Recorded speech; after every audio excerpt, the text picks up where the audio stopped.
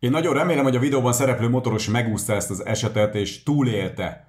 Hányszor hallani azt a mondatot, hogy én nékidet veszek meg, kis cruisert veszek, mert én biztonságra megyek, meg én betartom az összes szabályt, hogy fölháborodtak nem olyan régen, amikor én egy adásban azt mondtam, hogy nem hiszek a kreszben, a sok agyament, az ugye kapásból, száguldozás, nem, hanem hogyha betartod a kreszt, az nem garantálja azt, hogy neked nem lesz bajod mások által, csak hát ugye ezt nem fordítottam le nekik ennyire szájbarágosan, és sok hülye nem értette meg, és most ez egy tipikusan olyan videó, hogy betartod a kreszt, és mégis megszívod.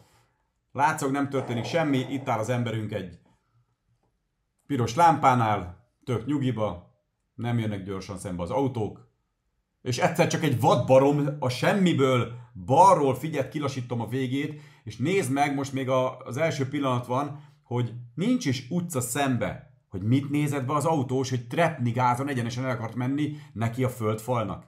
És hogy az ilyenek, bazd meg, miért nem tudnak elmenni mindenki mellett, és egyedül döglik meg.